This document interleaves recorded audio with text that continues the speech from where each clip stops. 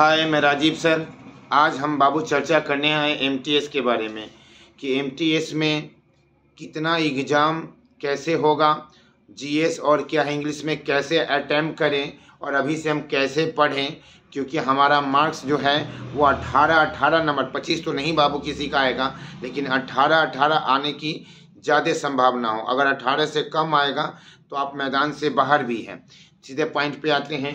पहले यहाँ पे समझना है कि MTS का एग्ज़ाम कैसे होगा बाबू। तो MTS का एग्ज़ाम जो होगा बाबू ना, वो 45 मिनट का मैथ रीजनिंग और 45 मिनट का जीके जीएस होगा। 45 मिनट का मैथ रीजनिंग और 45 मिनट का क्या? जीके जीएस होगा बाबू।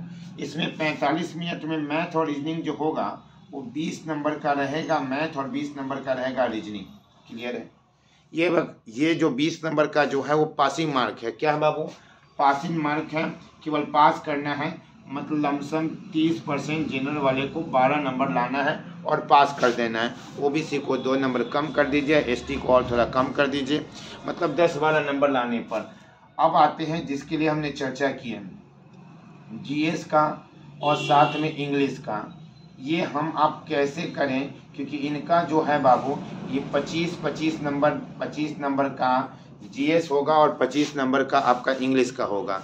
अब इसमें 25 नंबर और दोनों में जो है 25 टी मैंने दोनों को जोड़ेंगे तो क्वेश्चन आता है 50 क्वेश्चन 50 क्वेश्चन जो रहेगा बाबू, वो डेढ़ सौ नंबर का रहेगा। कितने नंबर का रहेगा बाबू?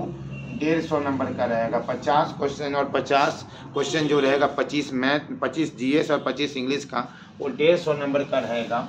और जो ये डेढ़ सौ नंबर का रहेगा बाबू तो उसमें क्या है? इसमें निगेटिव मार्क है।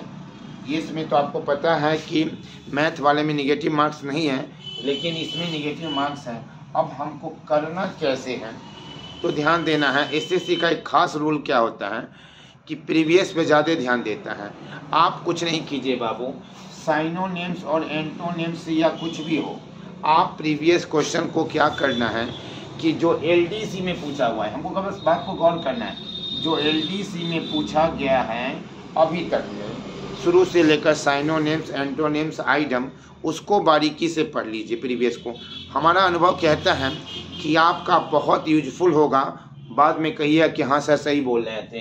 एलडीसी मतलब एस सी का ही और साथ में एमटीएस का पूछा हुआ प्रीवियस क्वेश्चन को इंग्लिश को बहुत पढ़ लीजिए, क्योंकि समय का अभाव है। पहला प्राथमिकता एलडीसी से जितना क्वेश्चन पूछा गया है प्रीवियस का और साथ में एम टी एस का साइनोनेम्स एंटोनेम उसको जितना पूछा, उसको याद कर लीजिएगा और आइटम्स को भी देखिए।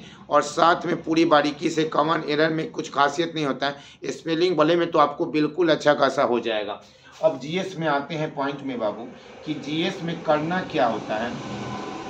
एक तो आप क्या है स्पीडी ज़रूर पढ़ाइए, जो हम क्लास में शुरू भी की है स्पीडी को पढ़ लेने के नया वाला स्पीडी जो आया है 2023 का। कितना 2023 का, उसको तो ज़रूर पढ़ लीजिए। और साथ में स्पीडी की तो ज़रूर पढ़ने के साथ में क्या करना है, पॉलिटी में कोई भी, आप किसी भी सर का पॉलिटी का नोट्स हो या शॉर्ट नोट्स हो तो पॉलिटी का देख लीजिए नहीं तो लुसेंट का ऑब्जेक्टिव को अगर आप देख लेंगे, अगर समय है तो हमें लगता है कि आपका मार्क्स आ जाएगा।